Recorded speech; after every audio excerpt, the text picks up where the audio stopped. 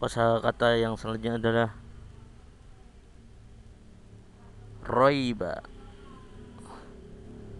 Roy roiba. Roiba. Di dalam bahasa Inggris itu adalah dope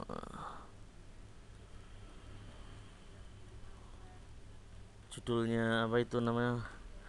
Grup band Pink ya dope Roiba dan dalam bahasa Indonesia artinya ragu. Keraguan keraguan. Wah tidak nyampe. Artinya ragu keraguan. Roiba